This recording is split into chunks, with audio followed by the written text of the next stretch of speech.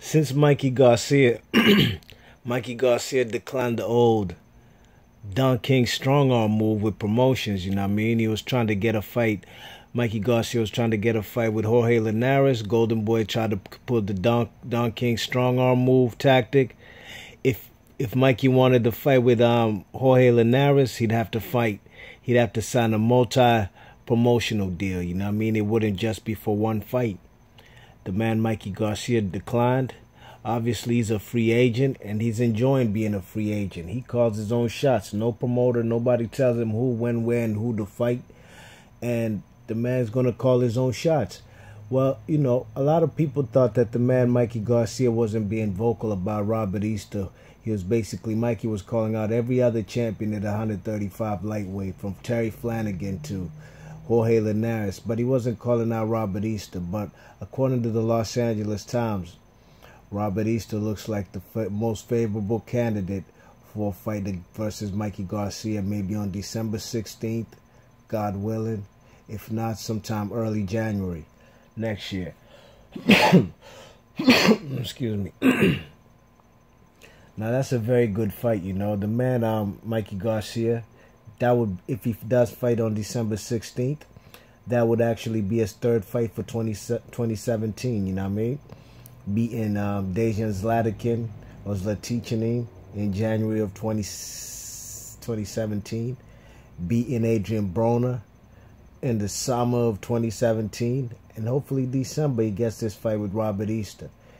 A unification. And like I said, man, all champions in every division should unify with other champions at least once a year. You know what I mean? One mandatory, one voluntary, one unification for every champion. If a champion had that kind of mindset, believe you me, boxing would be in a better place. You know what I mean?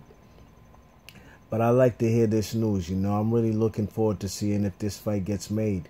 You know, even fellas like um, Errol Spence yeah, he was offered a shot at Miguel Cotto, just like Mikey Garcia wanted a shot at Miguel Cotto. But I'm sure in order for these guys to get a shot at Miguel Cotto, they'd have to sign a multi-promotional deal. And these fellas ain't trying to do that, and I don't blame them. You know what I mean? Don King been been done that. These fellas are hip, man. These guys are actually more businessmen than um just fighters. You know what I mean? They want to put their career and their destiny in their own hands and call their own shots. And I applaud what Mikey Garcia doing, you know. But a fight against him versus Robert Easter, that would be a very entertaining fight. Two different clashes of styles. Robert Easter, in my opinion, who he's had two title defenses ever since he beat Richard Commey.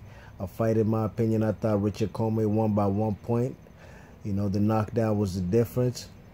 But Robert Easter didn't look particularly good that good in his last fight versus Denis Shafikov.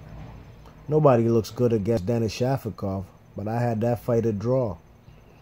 So Mikey Garcia probably seen some flaws in this guy's game, and he's ready to um, try getting get Robert Easter in the ring with him. And I hope they make this fight happen. Let me know what y'all think about this fight. Do you like it? I do. It's a unification. WBC IBF at lightweight. Mikey Garcia is trying to fight Jorge Linares.